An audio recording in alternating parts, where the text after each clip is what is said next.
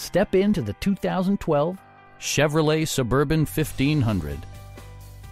With fewer than 25,000 miles on the odometer, this four door sport utility vehicle prioritizes comfort, safety, and convenience.